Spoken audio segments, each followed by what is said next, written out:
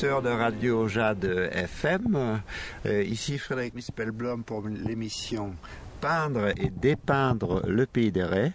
Aujourd'hui nous nous trouvons dehors euh, dans le marais breton du côté des Moutiers en Ré sur la tenue de Mareuil qui est une saline tenue par une paludière qui s'appelle Mélanie d'Apremont. Bonjour Mélanie, merci de recevoir Radio Jade. Bonjour Frédéric, bonjour tout le monde.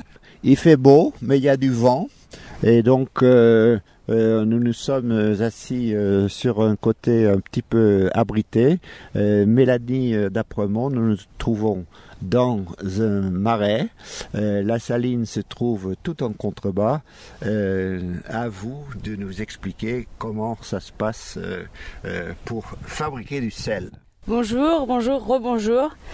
Voilà, nous sommes dans le marais breton. On est à l'extrême nord du marais breton qui s'étale sur 45 000 hectares. Euh, les Moutiers en Ré étant vraiment le nord, à l'est on trouve Chaland et au sud Saint-Gilles-Croix-de-Vie. Ce marais est une zone de sédimentation argileuse. C'est des, dépôts d'alluvions qui sont déposés au milieu de, pendant des dizaines de milliers d'années qui ont fait aujourd'hui toute une zone en argile. Euh, ce marais aussi situé au niveau de la mer, ce qui est complètement nécessaire pour pouvoir faire des marais salants. Il faut donc se situer entre le niveau de marée haute et le niveau de marée basse. Le paysage ici se compose d'étiers, d'écluses, de trappes. En fait, la mer va arriver dans, au cœur du marais à travers des étiers qui, eux, sont gérés par des écluses aujourd'hui. C'est-à-dire que l'eau salée remonte à marée haute à l'intérieur de ces étiers et vient pénétrer dans les terres par une écluse. Donc les manœuvres de l'éclusier va venir fermer l'écluse pour pouvoir maintenir cette eau salée dans le marais salant. Excusez-moi, le- l'éclusier, c'est pas vous. Non, c'est pas moi, c'est vraiment, c'est vraiment le syndicat d'aménagement hydraulique, donc euh, un organisme qui gère les écluses. Euh, L'eau salée donc va pouvoir remonter, comme je disais, et alimenter des bassins. Pour moi, le premier bassin qui va être alimenté en eau salée, ça va être ma vasière. Ma vasière, c'est ma réserve d'eau salée. Ça va me permettre à moi d'avoir en constamment une réserve en eau salée. Si même l'éclusier décide par exemple de changer et de vider l'eau des étiers, j'ai un stock d'eau salée que je vais pouvoir ensuite faire rentrer dans ma saline de la vasière à l'entrée dans la saline. Ensuite, je gère mon débit d'eau en fonction de ce que je veux et surtout en fonction de la météo qui va être annoncée. Ensuite, l'eau pénètre dans la saline et traverse les phares, les fonds termins et les œillets. Excusez-moi pour la météo, qu'est-ce qui est favorable ou qu'est-ce qui est défavorable pour, euh, euh, pour la saline? Comme nous, on cherche euh, une évaporation, donc une concentration de l'eau de mer par l'évaporation, euh, un vent d'est qui va être très sec avec du soleil et des belles températures va être euh, parfait pour, euh, pour évaporer l'eau de mer. Tandis qu'évidemment, des pluies ils vont complètement radoucir euh, Ouais. notre saumure.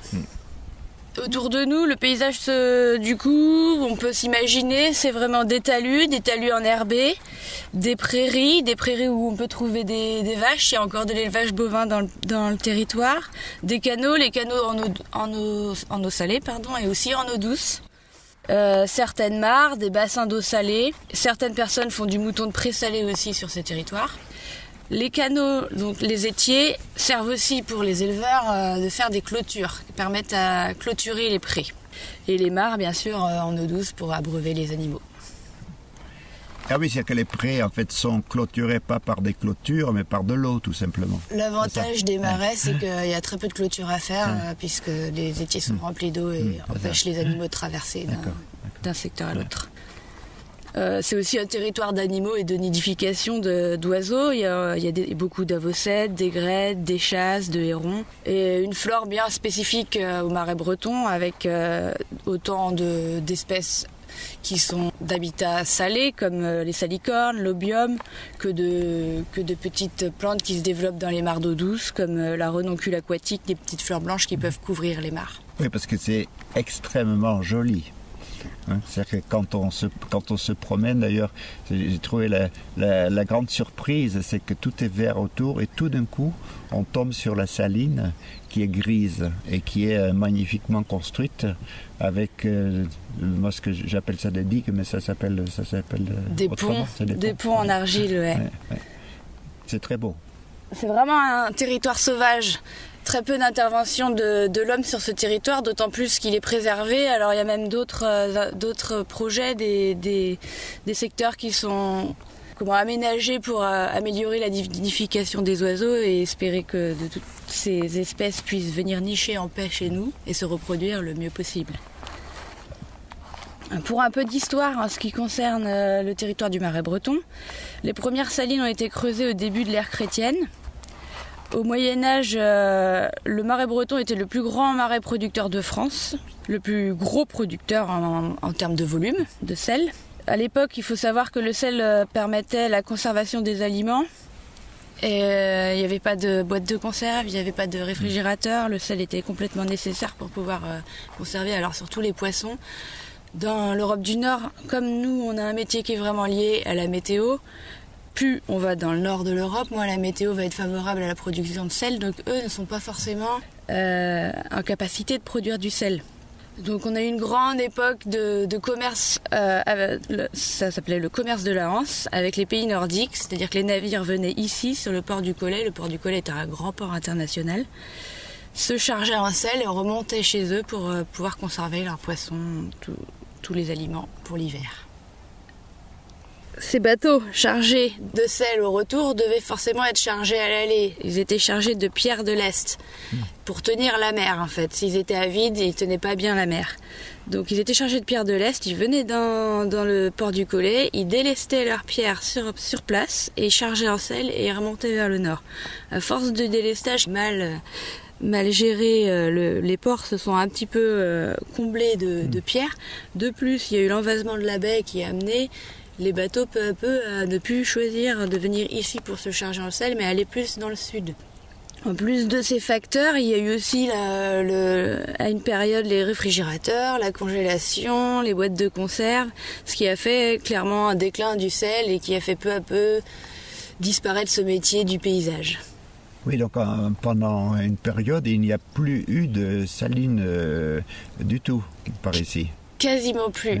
Dans les années 1950, on voit vraiment très peu de salines qui sont encore exploitées.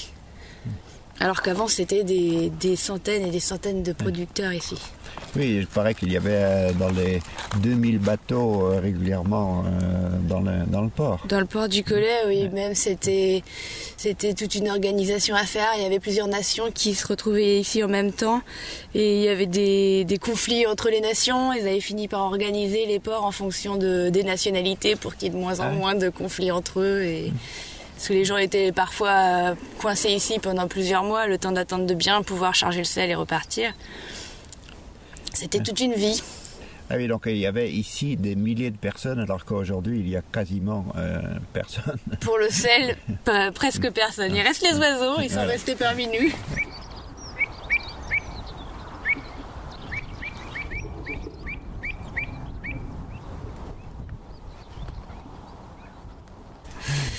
Aujourd'hui, sur euh, Bourneuf et les Moutiers, on est trois producteurs. Et, euh, parce que que comment la disons la, renaissance s'est faite? Qu'est-ce qui a fait que tout d'un coup, donc euh, alors qu'il n'y avait plus rien, il y a eu à nouveau des personnes qui se sont intéressées dans ces anciennes salines qui étaient tombées en ruine? Alors, euh, le, sel de Guérande a, été pour beaucoup parce qu'ils se sont unis, unis, et ils ont réussi à faire reconnaître leurs produits. Mais aujourd'hui, il y a une sorte. Enfin, les gens commencent à faire attention un petit peu à ce qu'ils consomment, à essayer d'aller vers des produits naturels, le plus naturel possible et le plus qualitatif possible. Et c'est vraiment sur le sel marin qu'on va avoir la meilleure qualité. Alors que sinon, on va trouver pendant une grande période l'ère industrielle, c'était le sel de la baleine qui est produit en grosse quantité par les salins du Midi, mais qui, hélas, euh, ils en rajoutent du E535 dans le sel de manière à ce qu'il ne soit pas euh, enfin, anti-agglomérant. C'est sur la qualité réelle du produit que les gens vont aller de plus en plus s'orienter sur des produits comme le nôtre. Le gros sel et la fleur de sel, qui sont eux naturellement plus riches en oligo-éléments et produits de manière 100% naturelle, sans adjudants, sans additifs. Et puis ça n'a pas le même goût non plus. Ça n'a pas le même goût. Le, fleur de sel est un, un vrai cristal qui peut croquer sous la dent qu'on vient rechercher justement pour garder ce cristal entier sans le casser. Oui, et donc euh, il y a eu tout d'un coup deux, trois personnes qui se sont euh, remis qui ont restauré les salines alors pour le, pour le marais breton, à Guérande, on va dire, ça fait plus longtemps. Il ils sont installés depuis les années 1980 à remettre en état un petit peu ces salines. Pour notre secteur, le marais breton, dans les années 2000, mes collègues se sont installés. Euh, c'est un peu plus compliqué de s'installer ici parce que l'état des salines est plus dégradé qu'en Nord-Loire, parce que l'envasement a causé beaucoup de dégâts sur les marais salants. Mmh. Donc dès l'installation, ça demande plus d'investissement personnel, de travail sur la remise en état ce qui doit en freiner certains à s'installer. Après, c'est aussi le calme et on est plus tranquille, il y a moins de monde, c'est un choix. Moi, j'ai choisi de m'installer ici, d'autant plus parce que je suis originaire du secteur, donc j'avais envie de rester dans mon pays. Mais justement, comment est-ce que c'est venu cette idée? Parce que avant, euh, euh, qu'est-ce que tu faisais Alors euh, à la base j'ai passé un BTS tourisme. J'ai pas beaucoup travaillé dans le tourisme. Après j'ai fait on va dire plusieurs saisons agricoles, quelques voyages, plusieurs euh, petites saisons, ventes, un peu plein de petits boulots. Et je me suis retrouvée comme ça à faire des saisons de sel, récolte de sel en Or-Loire. C'est là qu'une saison, deux saisons, je me suis dit bah vraiment pourquoi pas ce métier pour moi, ce serait quelque chose qui me conviendrait bien. Euh, j'ai choisi de faire euh, la formation, une formation pour devenir paludier qui dure 11 mois à la Turballe. Et puis mes saisons m'avaient permis aussi de rencontrer plein de personnes du, métier, de, faire, de me faire un réseau intéressant, de, partager à ce sujet-là. Après, c'est beaucoup des gens que j'ai rencontrés en Or-Loire et moi j'ai choisi, donc, comme je disais tout à l'heure, de venir ici pour me rapprocher de ma famille et de mon territoire. Euh, mais d'appliquer toutes, les connaissances que j'ai pu apprendre là-bas auprès d'eux et de venir les, appliquer ici. Puis aujourd'hui, je suis encore en contact avec eux parce qu'on se donne des, coups de main. Euh, l'hiver, euh, ils sont venus ici m'aider pour ma remise en état, comme j'y vais là-bas régulièrement pour les aider sur certains chantiers. Euh, c'est ce parcours-là qui m'a amené à faire donc ces choix, ce, métier-là. J'avais aussi, euh, on va dire, craqué sur le, fait que c'est un métier qui est vraiment au contact de la nature. Je suis liée à 100% aux saisons, c'est-à-dire que mon rythme de, travail va, va, va, complètement changer entre l'été et l'hiver.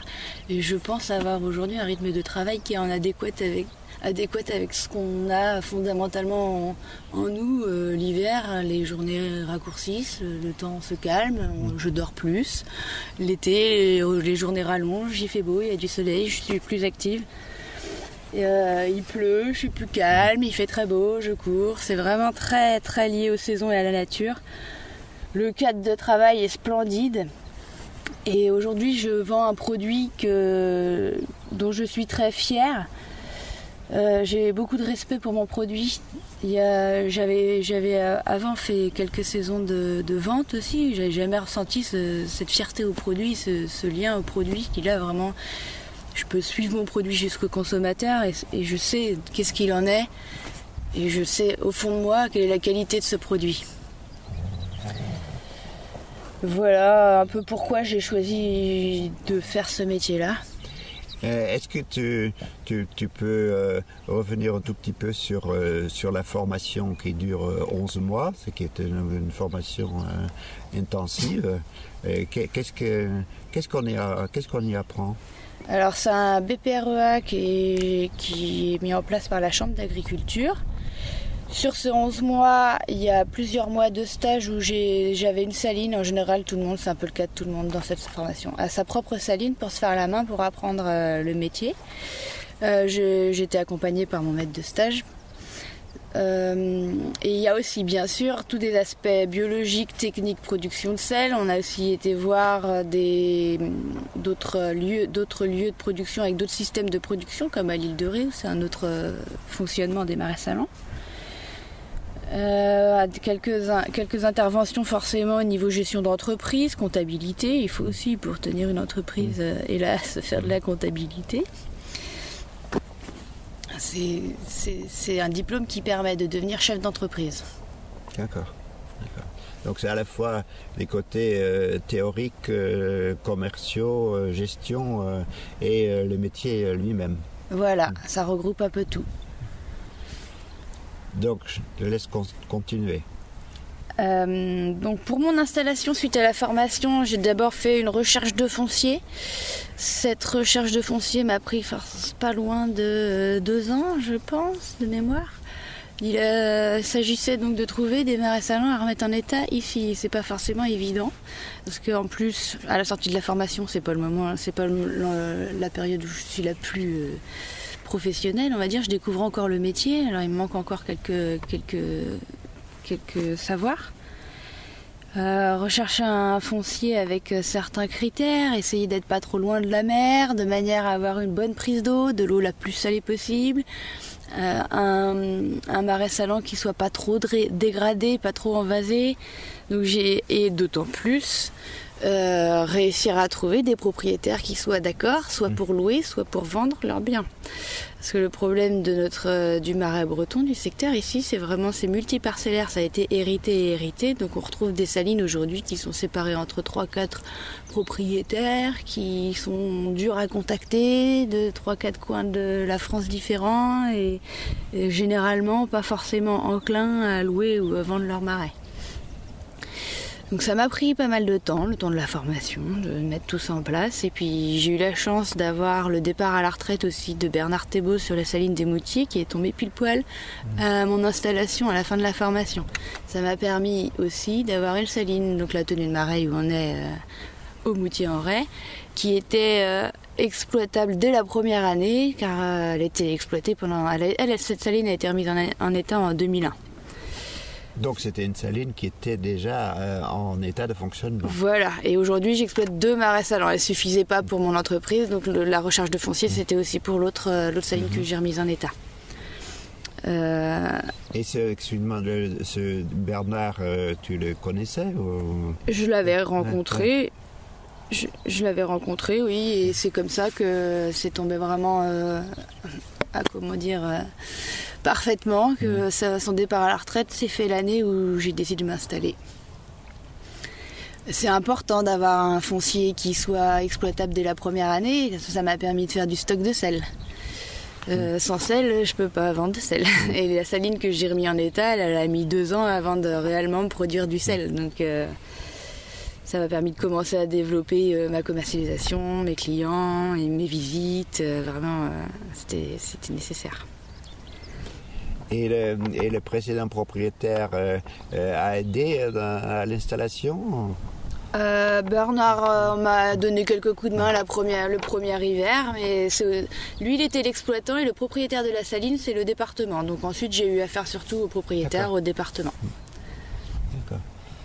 Oui, d'où les, parce que les pancartes qu'il y a au début de la saline, sont des, sont des pancartes euh, qui, ont été, qui ont été faites par le département ou c'est toi qui les as fabriquées? Elles étaient déjà là, c'est le département qui a mis en place ces panneaux, ceux qui représentent les oiseaux. Et les informations euh, sur la saline. Il y a aussi sur cette saline un partenariat avec l'association P2MB euh, l'association des moutiers qui, promeut le patrimoine et c'est cette association qui à l'époque en 2001 a géré la remise en état de la saline. À l'époque le département n'était pas encore propriétaire de la saline, ça s'est fait après. Donc aujourd'hui je suis l'exploitante de la saline, le département est mon propriétaire et P2MB gère les visites de la saline. D'accord.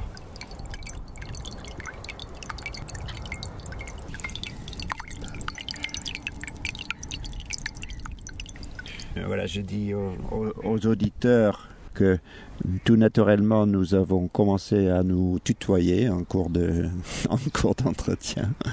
Donc euh, euh, voilà, tout à l'heure tu parlais euh, des saisons, de la différence de de, de, la durée du jour et de la nuit.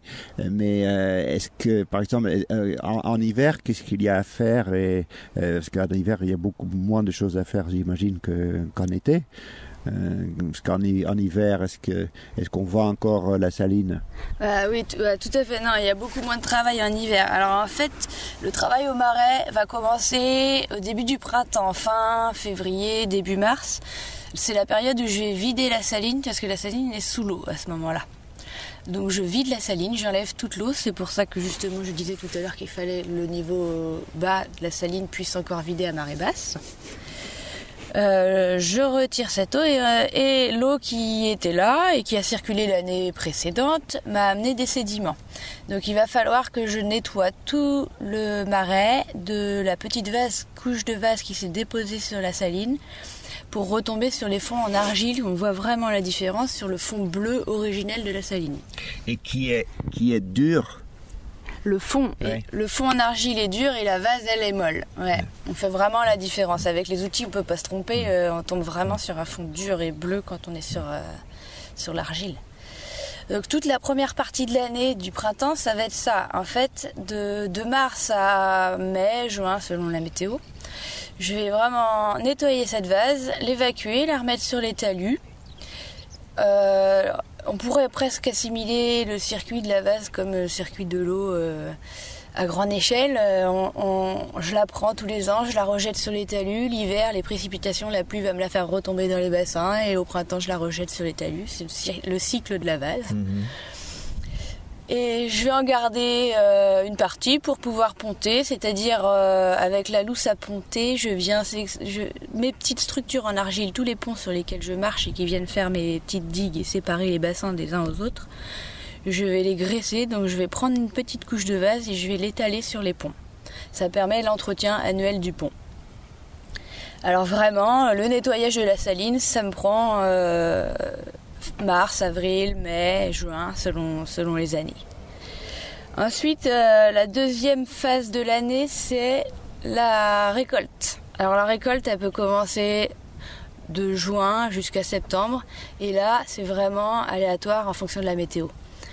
Euh, c'est pour se faire une idée. Dans la mer, il y a 35 grammes de sel par litre d'eau en moyenne. Pour que le sel chlorure de sodium arrive à cristallisation, il faut qu'on ait monté une saumure concentrée à 280 grammes de sel par litre d'eau. Soit pour un litre de saumure, 8 fois son volume s'est évaporé.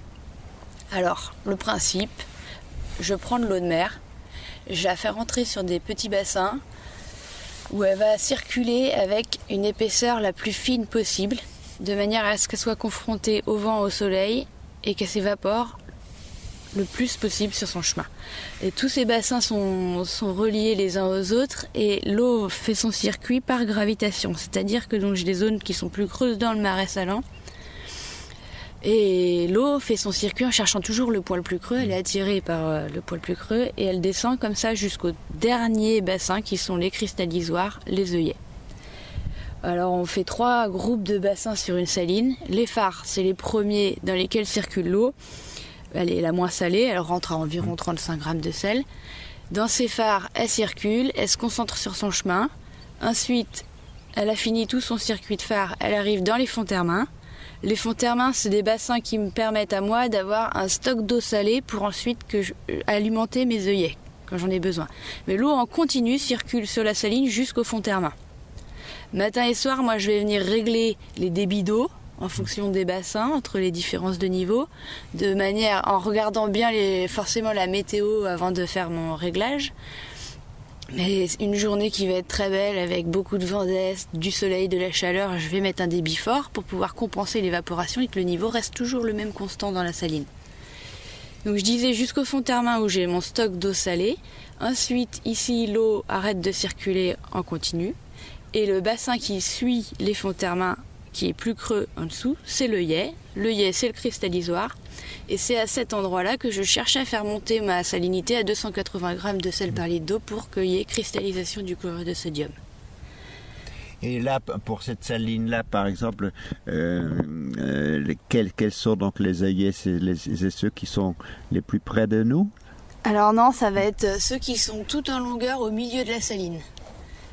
Il y a 16 œillets sur cette saline et ils sont vraiment, euh, on les reconnaît facilement avec les tables. C'est les, plateformes rondes qui sont au milieu des ponts et qui vont me permettre ensuite, quand je récolte, de laisser goûter mon sel dessus. Voilà, dans la mer, je disais, il y a 35 grammes de sel par litre d'eau, mais il n'y a pas que du chlorure de sodium. Dans la mer, il y a aussi du magnésium, du calcium, et c'est certaines curiosités, c'est que le calcium va cristalliser à un seuil inférieur de concentration que celui du sodium. Du coup, je vais le retrouver dans les bassins en amont des œillets. Les fonds termains sont maculés dans le fond en récolte d'une petite croûte de sel, c'est du calcium. Et le magnésium, lui, quand elle lui cristallise à taux de concentration plus élevé. Alors ils s'accumulent dans les œillets pendant la saison. Ils se concentrent là dans l'eau des œillets. Alors arrivé euh, juin, juillet, août, donc voilà, la saison va démarrer le jour où j'ai réussi à atteindre le seuil de cristallisation dans mes bassins. Donc le sel apparaît. On va voir en premier en général la fleur de sel. C'est la petite Le fleur de sel, c'est un cristal qui vient se former à la surface de l'eau, une forme pyramidale. Il apparaît en général vers 16-17 heures en fin d'après-midi. Je viens le récolter donc en soirée avec la lousse à fleurs. C'est comme un écumoire que je vais venir à fleur d'eau pour essayer de récupérer cette petite pellicule sans, la faire couler et sans toucher le fond du bassin. C'est un travail de précision. J'en récolte en général dix fois moins que du gros sel en, volume. Oui, donc c'est un, moment particulier de la journée que tout d'un coup cette cristallisation se fait et qu'on va presque apparaître euh, la fleur de sel voilà, exactement. On peut, commencer à en apercevoir vers 15h, quelques cristaux se former à la surface de l'eau, et puis le vent va les plaquer tous dans le même coin et former des petites euh, plaques de fleurs de sel. Vers 17h, c'est là qu'il y en a le plus en général. Elle est là plus ou moins selon les vents, selon la météo. Il y a des jours où il y en a plus, il y a des jours où il y en a moins. Euh, si je ne l'ai pas bien récolté avant la nuit, en général, il y a une petite couche d'humidité qui va venir se déposer dessus et qui va me la faire couler dans la nuit. Donc elle est perdue, elle partira avec le gros sel. C'est pour ça que la récolte doit vraiment se faire en fin d'après-midi. Ah oui, donc il y a vraiment un moment particulier où il faut l'attraper et après on peut plus. Ouais, c'est ça, faut être à l'heure, sinon c'est trop tard. Le sel, quand il est lancé, c'est, ça peut être tous les jours pendant 60 jours. S'il a décidé que ce soit tous les jours pendant 60 jours, s'il se met à pleuvoir, ça me fera une pause par contre pendant la récolte. J'aime bien qu'il pleuve un peu pendant l'été quand même. On arrive euh, au moment où on va faire la petite euh, pause musicale. Euh, Mélanie, qu'est-ce que tu as choisi? Alors, la chanson de Jimmy de Moriarty. Je vous laisse écouter.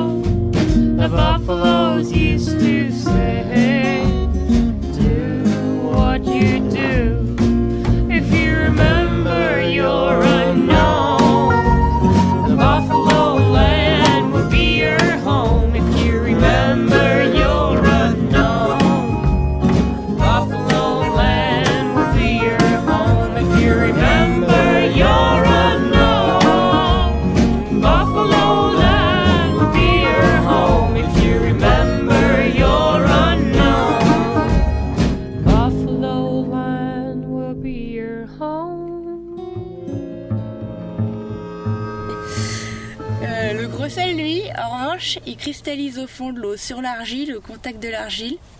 C'est pour ça qu'il est un petit peu gris et qu'il contient des minéraux, euh, des oligo-éléments de, de l'argile euh, en lui. Et lui, il n'a pas forcément un moment donné pour cristalliser. Il cristallise tout au long de la journée et de la nuit. Alors, à moi de décider si je viens le récolter soit de bonne heure le matin, soit tard le soir après la fleur de sel. En général, j'ai un peu plus de temps tôt le matin. Euh, au moment où je vais venir le récolter, euh, hum, c'est le moment aussi où je vais rajouter de l'eau dans l'œillet, comme je disais tout à l'heure. L'eau dans l'œillet ne circule pas en continu, c'est moi qui vais venir l'alimenter une fois par jour. C'est au moment de la récolte du gros sel. Euh, le matin, donc j'ai un peu plus de temps, je viens faire ma récolte, j'essaye de faire ça le plus tôt possible, comme ça, le plus tôt j'ai terminé, je laisse mon œillet plein d'eau, je le laisse prendre la chaleur toute l'après-midi, s'évaporer, faire son travail pour que le soir il puisse y avoir de la fleur de sel. D'accord. Quand euh, je récolte en une journée sur un œillet 50 kg de gros sel, je récolte euh, 4 kg de fleurs de sel sur cet œillet. 3 kg, c'est déjà bien. Ah oui, parce que euh, ça continue euh, tous les jours. Tous les jours, ça ne s'arrête pas tant qu'il pleut pas. Ouais. Le gros, Mais, euh, mais après, il faut le mettre dans le petit sachet. Voilà, c'est pas fini. Le, chemin du sel n'est pas totalement terminé. Donc le gros sel, je le, sors, je le mets sur la table, donc la plateforme ronde qui est, à côté des œillets. C'est là qu'on voit souvent les images, on connaît des petits tas de sel sur, euh, les salines. Je le laisse s'égoutter une demi-journée et ensuite je viens à la brouette euh, le, le prendre et le, le mettre sur le trémet. Le trémet, c'est la grosse plateforme qui est sur le bord de la saline où je vais stocker mon sel pendant tout l'été, le temps de la récolte. Euh, ça, selon les saisons, hein, je peux avoir, euh, on va dire, une saison moyenne, comme l'année dernière, sur, la- sur cette saline, la tenue de Marie, j'ai dû faire 20 tonnes de, de gros sel. Donc, je- 20 tonnes 20 tonnes. Ah oui, on n'imagine pas. Hein, c'est... Oui, c'est quand même énorme. Ça fait, des... ça fait combien de, de gros tas? J'ai 20 tonnes tient sur un gros tas. Oui, le sel c'est environ 800 kg mètre cube, mais le tas est fait de manière à optimiser la place pour que ça tienne sur la plateforme qui est là. En fin de saison, il y a un transporteur qui va venir me rouler mon sel et venir me l'emmener sur, ma, sur ma- mon autre plateforme de stockage où il va ensuite passer l'hiver. Pour, euh, pour m'installer, il m'a fallu un stock de gros sel parce que comme on est complètement dépendant de la météo, il va y avoir des années qui vont être de très bonnes récoltes et d'autres années qui peuvent être de très mauvaises. Le sel étant un produit qui se conserve euh, sans souci puisque c'est un conservateur.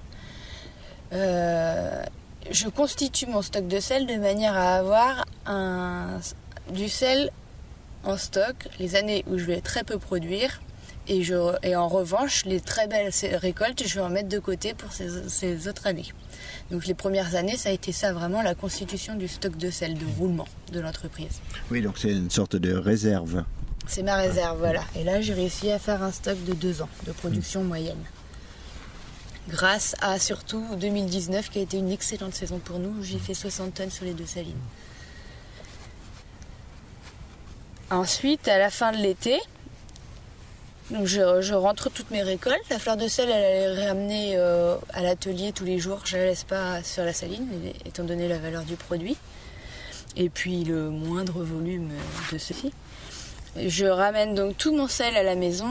Je vais ensuite, vers septembre-octobre, au moment où il va y avoir une pluie et la pluie sera assez abondante et me fera décider que c'est fini. Je ne pourrai pas repartir en sel parce que l'évaporation ne pourra pas compenser le, le, nombre de millimètres qui est tombé. Les journées diminuent, se rafraîchissent, il y a beaucoup moins d'évaporation. Je noie la saline, c'est-à-dire que je vais faire rentrer de l'eau de mer sur la saline de manière à noyer toutes les structures en argile je mets tout sous l'eau. Je fais ça pour éviter, si je laissais l'eau monter peu à peu, le niveau d'eau monter peu à peu dans la saline par la, la pluie, le vent l'hiver ferait des vaguelettes dans mes bassins qui, eux, viendraient éroder mes structures en argile parce qu'il ne faut pas oublier que tout est en argile, ça reste fragile. Donc tout mis sous l'eau, le marais est mieux conservé comme ça pour tout l'hiver. Il n'y a plus du tout de récolte ensuite. Octobre à février, j'ai plus, j'ai quasiment plus rien à faire sur le marais. Sauf forcément, pendant deux ans que j'ai eu ma remise en état à faire, c'était les périodes justement où je travaillais sur ma saline pour pouvoir la remettre en état, refaire les ponts, refaire toutes les structures et refaire les fonds. Oui, parce que les ponts, c'est des structures permanentes, même quand la saline est noyée, euh, ils sont là. Oui, les ponts ne bougent pas, restent là. Ils sont en argile. en fait, l'argile dure reste euh, vraiment. Euh, enfin, est dur, quoi. Il ne bouge pas. Ces structures-là sont là. C'est seulement la vase qui est plutôt molle et qui, elle, vient. Euh, mais on la retire tous les ans. On retombe sur les vraies structures en argile chaque année. Sauf évidemment une saline qui va être abandonnée pendant plusieurs années. Oui, les ponts vont peu à peu s'affaisser et peu à peu disparaître dans le paysage de la saline. Mais même aujourd'hui, si on retourne sur un marais salant qui est abandonné depuis 70 ans et qu'on prend une pelle par exemple et qu'on l'enfonce bien au fond, on arrive à bien retrouver le fond dur en argile originel de la saline. Alors arrivé l'hiver, mon travail est bien plus euh, commercialisation, en sachage, je réfléchis à de nouveaux produits, j'ai toutes mes boutiques, alors maintenant je commence à avoir un, un petit réseau euh, de, de, clientèle assez conséquent, de plus en plus, d'année en année. Alors, euh, il y a toutes, euh, tout, toutes les livraisons régulières à faire dans les boutiques qui vont revendre mes produits, les boulangers qui consomment pas mal de sel, du gros sel. Euh, l'ensachage. Oui, donc, donc, même donc, les boulangers se sont mis à utiliser du sel non, non industriel. Voilà. Alors le, on peut pas, le label AB n'est pas utilisable pour le sel parce que c'est un minéraux et le label AB concerne que les produits végétaux et animaux. En revanche, le sel marin, comme on le fait, est nécessaire dans la charte euh, AB pour les producteurs boulangers. Donc ils viennent plutôt vers des produits comme l'autre, du sel marin. Euh, et puis aujourd'hui, moi je suis adhérente Nature et Progrès, donc c'est-à-dire j'ai la mention Nature et Progrès qui équivaut euh, à, un label AB qui, qui va mettre en, en avant des, des, des, des qualités. Des, des, qualités et des, des, fonctionnements, on va dire des, des actions. Je, ma manière de gérer ma saline, je n'utilise pas de produits phytosanitaires. Je oui, fais en sorte que la façon de produire. Quoi. Voilà, ma, ma manière de, de, produire. Je fais attention à la biodiversité. Je fais, j'utilise par exemple que des épices AB pour mes mélanges de recettes aromatisées. Euh, je participe à, à la vie de cette association aussi. Je mets en avant la. J'ai des actions voilà, qui vont être euh, faites de manière à, à, améliorer la biodiversité, l'éthique du produit. Il est finalement plus profond, cette mention nature et progrès est plus profonde que le label AB. Il demande plus de, de choses, mais je l'ai choisi non pas Enfin, parce que je voulais le faire euh, pour les rejoindre, mais vraiment parce que c'était déjà des actions que je menais personnellement et c'était cette manière, moi, que j'ai de voir les choses. C'est une association spécifique aux au paludiers ou c'est toutes sortes de toutes sortes de métiers qui sont pas qui en font partie? Pas du tout. Tous les tous les producteurs, même re, transformateurs, peuvent être adhérents Nature et Progrès. Agriculteurs, n'importe quel produit. Euh, dedans, on a des producteurs de tisane, des producteurs de de produits laitiers, de viande, il y a des savons, il y a tout un. C'est ouvert à beaucoup de métiers. Voilà pour l'hiver.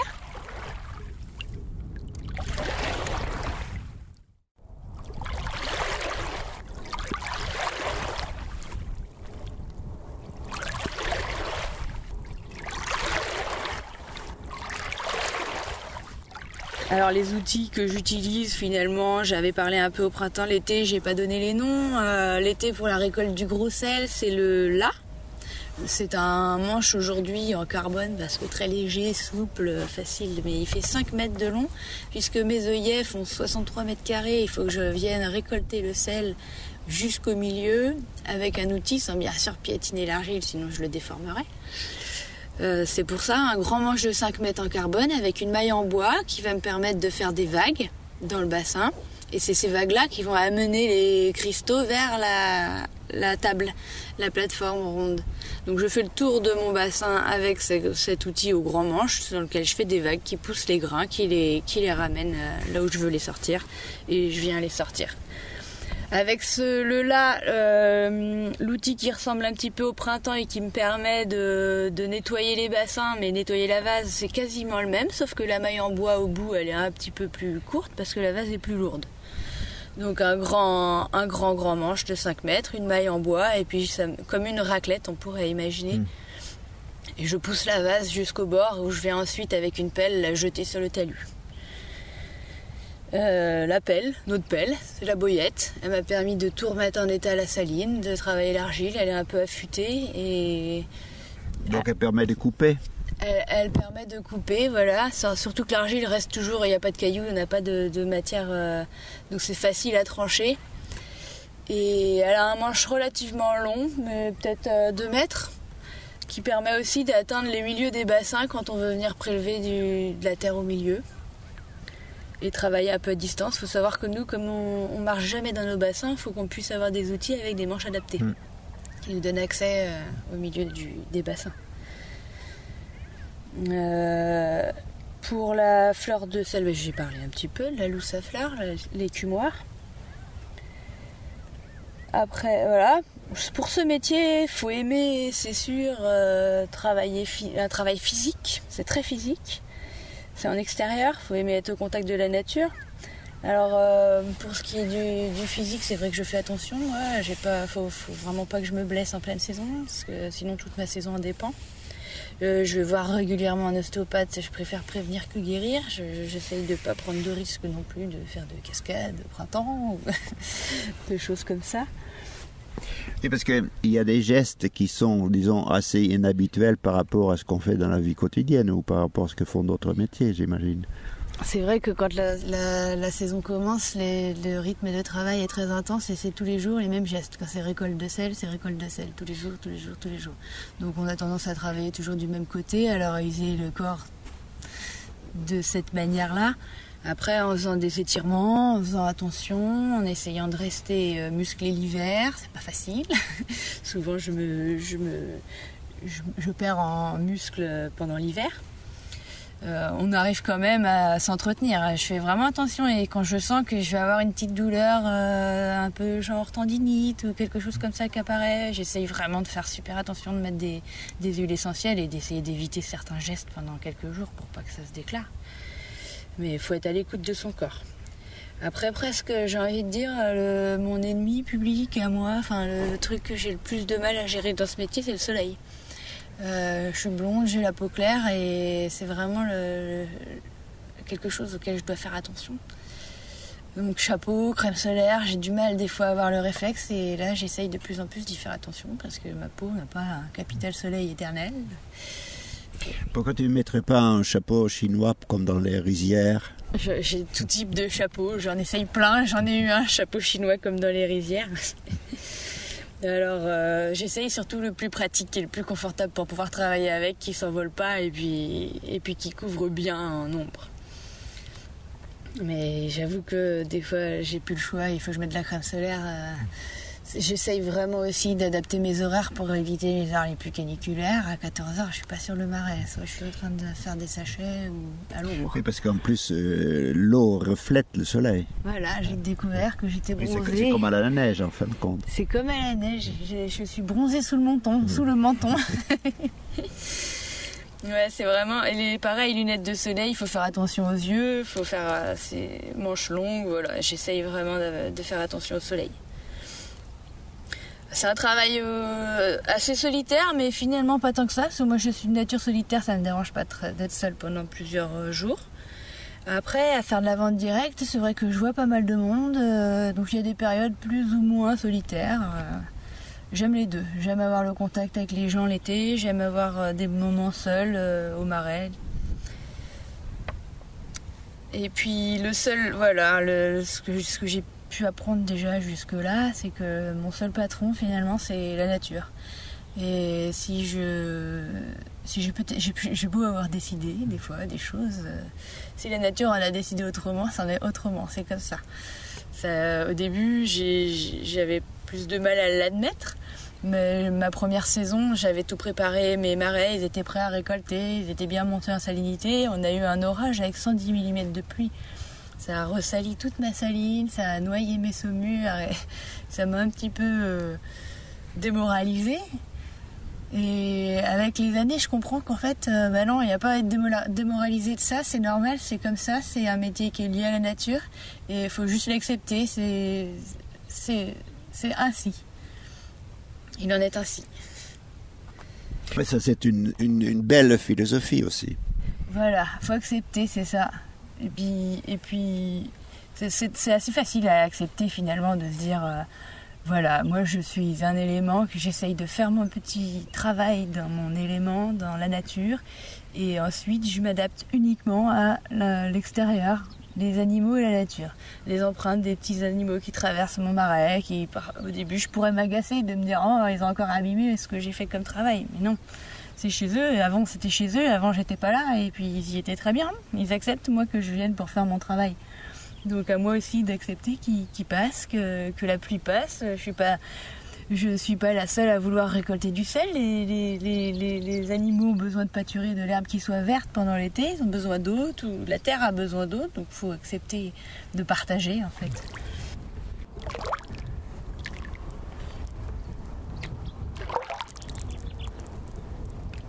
Voilà, l'autre partie de mon métier, vraiment, ça va être la commercialisation des produits. Ah oui, on a, on a- on a oublié de présenter ton chien. Voilà, Présente-nous le chien. Nachos, le chien du marais, le, le garde, le chien de garde. Allez Nachos, va Nouille, nouille. Mon compagnon, voilà. Quand mes journées sont longues et que je suis seule, j'ai mon compagnon qui est là. Personne ne peut me surprendre. Et voilà, alors le reste du métier, ça va être la commercialisation. Euh, Là-bas, c'était pas forcément euh, ce qui me passionnait dans ce métier-là, mais il faut y passer. Et puis finalement, c'est aussi euh, le, retour sur son produit et voir le suivi de son produit, voir les, gens satisfaits, c'est gratifiant. Donc ça fait partie du métier. Alors, euh, ben, un peu de démarchage, trouver des clients, vendre le sel, l'ensachage, le conditionnement, tout ça, ça prend du temps. Euh, la livraison, avoir des retours, la vente directe sur la saline au moutier en reste, ça me permet aussi d'avoir le retour direct des clients et de savoir s'ils sont satisfaits. Enfin, en général, c'est des retours très positifs. Et donc, ça veut dire que tu, tu, tu tiens une boutique à ce moment-là. Alors, je j'ai pas de boutique à l'année. Ce que je fais, c'est que juillet-août, au beau jour, euh, tous les jours, euh, fin de matinée et fin d'après-midi, je, je suis sur la saline avec une table, j'ai tous mes produits et je vends aux passants. Donc c'est vraiment sur juillet-août. Le reste de l'année, ça se fait dans les boutiques que j'ai en régulier. Alors je vends à des, donc comme je disais, à des boulangers, à des, restaurateurs, à des, boutiques qui revendent mes produits, et puis aussi euh, en palette. euh, euh, J'expédie des palettes parce que ça, ça brasse quand même du volume de saline. Donc je fais euh, 20 tonnes, 25 tonnes par an. Alors il faut que j'expédie ce volume-là aussi pour en vivre. Alors l'année dernière, c'est la première année où je me suis tiré un salaire de mon activité et c'était donc ma troisième année d'installation. Donc j'étais très très satisfaite. Ouais. Oui, parce que c'est quand même plus vite rentable qu'une vigne qui met euh, des années avant de produire. Ouais, oui, juste le temps de constitution du, du stock de sel, on va dire, pour être confortable. Mais sinon, si la saison est bonne, la récolte est bonne dès la première année d'installation, dès la première, on peut commencer à, pro- à vendre à des marchés. Après, il faut mettre en place le réseau clientèle qui, qui va pouvoir euh, rapporter suffisamment pour faire vivre le- l'exploitant. Oui, parce que euh, tu n'es pas, tu n'es pas la seule. euh, Il y a d'autres euh, paludiers. Il y a tous les paludiers de Guérande. donc il y a un marché qui est déjà pas mal occupé. Comment tu as fait pour pour creuser ta place? Au début, j'ai démarché un petit peu et finalement, le bouche à oreille a très vite fait son, son effet. Euh, les, les quelques personnes, par exemple, en Bretagne, je livre euh, pour, des boulangers. J'ai commencé à en démarcher certains au début et puis au final, ils ont été très satisfaits de mon produit. Ils en ont parlé à des amis boulangers, qu'on en parlé à d'autres amis boulangers. Maintenant, tout se fait comme ça quasiment. J'ai j'ai presque plus besoin de démarcher. Donc, vraiment, le bouche à oreille fait tout. Après, pour ce qui est aussi de, donc de, de l'ambiance au marais, on va dire des, des personnes qui, qui gravitent autour de moi, des autres euh, domaines d'activité.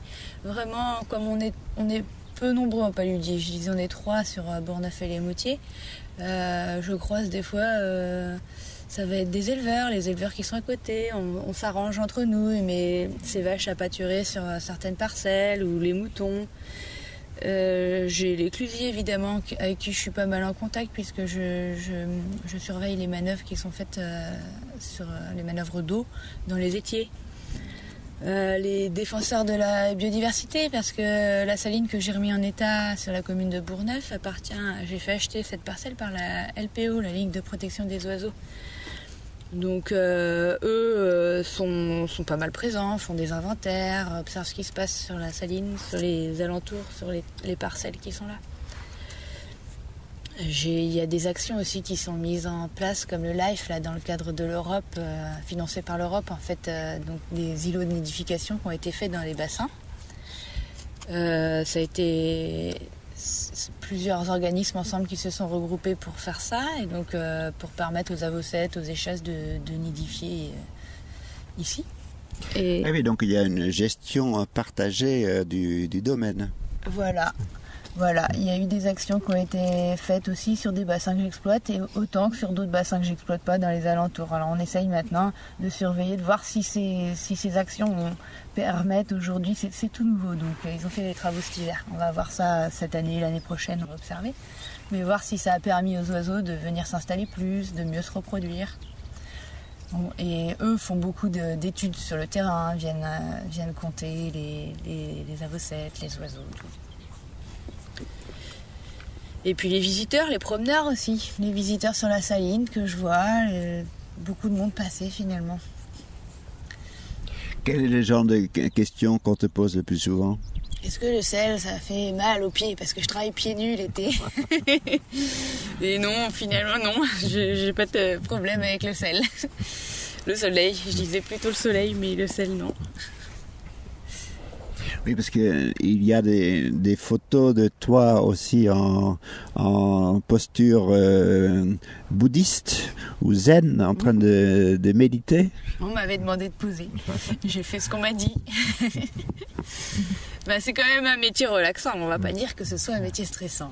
En, en règle générale, la photo représente bien euh, l'état d'esprit dans lequel on peut être quand on est sur le marais.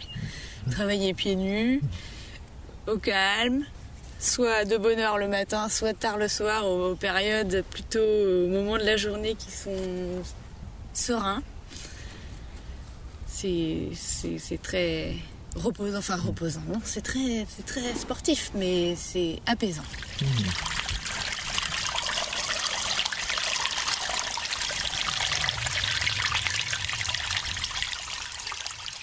Comment ça se passe euh, entre paludiers, parce qu'il y en a plusieurs euh, euh, dans le marais breton depuis quelques années? Alors j'ai quelques contacts avec certains qui m'ont même donné des conseils et aidé à l'installation. On avait une association qui nous regroupe justement entre les paludiers du Marais breton.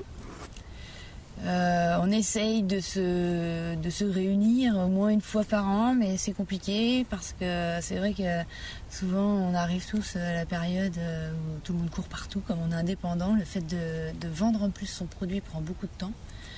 Donc on essaye de garder contact et d'avoir quelques projets ensemble, mais ça reste assez compliqué. Oui, mais donc la quasi-totalité de l'activité, tu l'as fait quand même seul. Voilà, seul. J'embauche l'été. J'embauche pour la récolte en juillet-août. Parce que là, je peux plus assumer toute seule les deux salines. J'ai 28 œillets au total. Ça me demanderait, euh, en plus avec la vente là, qui se développe de plus en plus, ça me demanderait des journées de 24 heures de travail. Impossible. Donc euh, j'embauche euh, pour la récolte de la fleur de sel et les brouettes de gros sel. Et parfois pour m'aider un petit peu au conditionnement aussi. Comme je suis encore en... là, j'attaque ma quatrième année. Donc chaque année j'ai des comment dire je me rajoute des tâches de travail euh, d'année en année et je vais vers une saison que j'ai du mal à imaginer quelle va être l'ampleur du travail que je vais devoir assumer. D'autant plus que si la saison est très bonne, ça change tout que si la saison est mauvaise, par exemple en récolte.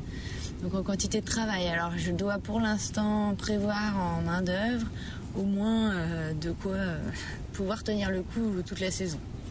Mais euh, donc, on- tu trouves de la main-d'œuvre euh, qualifiée qui sait faire ce travail ou tu les formes euh, sur le, sur le tas? Je les forme. Je les forme, c'est pour ça que je leur fais récolter fleurs de sel et brouettes de gros sel, parce que la récolte du gros sel, c'est trop technique et ça mettrait vraiment trop de temps à les former pour, pour sur une saison de deux mois, ils seraient pas efficaces.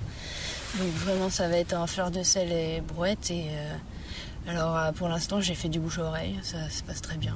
L'année dernière, j'ai pu proposer l'équivalent d'un temps complet sur deux mois. Euh, maintenant, c'est c'est aussi, euh, c'est aussi des saisons qui sont très aléatoires en fonction de la météo. Donc, il y a des années qui seront. C'est un travail qui est beaucoup rémunéré à la tâche. Alors, il y a des années, ça peut être très intéressant pour les saisonniers, comme d'autres un peu moins. À la tâche ou à la quantité euh, récoltée? Un peu des deux, à la tâche pour les brouettes et à la quantité récoltée pour la fleur. Oui, donc euh, pour eux aussi, plus euh, ça donne, mieux c'est pour eux. Voilà, c'est ça. Et c'était le- le- la- c'était la même situation dans laquelle j'étais quand j'étais saisonnière au tout début, quand j'ai découvert le métier. En fait, j'avais un mi-temps sur euh, un mi-temps en maraîchage et je prenais la récolte de la fleur de sel et les brouettes en, en, en plus de mon mi-temps pour le, le soir, en soirée. Et ce, qui faisait que bon, mon mi-temps en maraîchage me permettait d'assurer un revenu. Et si c'était une super saison de, de, de sel, j'avais, c'était jackpot pour moi. Et j'ai eu de la chance j'ai eu à faire des saisons que quand elles étaient bonnes, les, les récoltes. Et donc tu feras peut-être de naître de nouvelles vocations aussi. Peut-être, j'espère. Je vois beaucoup de gens passer qui sont intéressés par le métier, qui me posent des questions, qui viennent éventuellement faire des stages. Pour l'instant, ça n'a pas encore euh, abouti sur une installation. Après, c'est vrai que ça demande euh, persévérance et patience. C'est peut-être euh, le plus difficile pour les gens pour s'installer. J'espère voir des gens s'installer. Alors on arrive vers la fin de, de l'émission. Est-ce qu'il y a des choses que tu aurais envie d'ajouter pour les auditeurs de Radio Jade FM Euh, je pense avoir dit le principal vraiment. Travailler surtout ce que je, ce que je vois relever le plus, c'est avec la nature, au contact de la nature et avec elle comme seul maître. La nature comme seul patron. C'est pas mal comme euh, devise. Ouais. C'est facile à accepter comme patron.